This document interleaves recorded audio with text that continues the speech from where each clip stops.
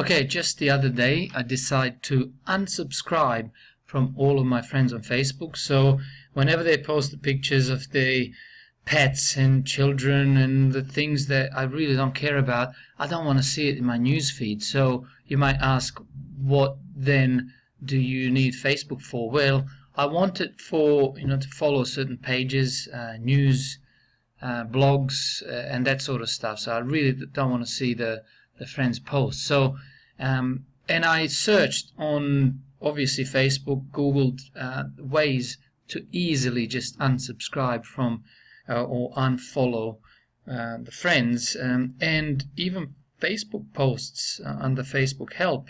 Uh, will tell you that that's not possible, but no, I found that it is possible. So you go under your own profile, right, and then then you go that you click there.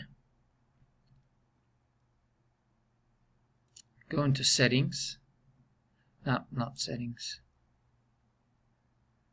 News feed preferences. So click there news feed preferences. And then you can unfollow people to hide their posts. Look at that.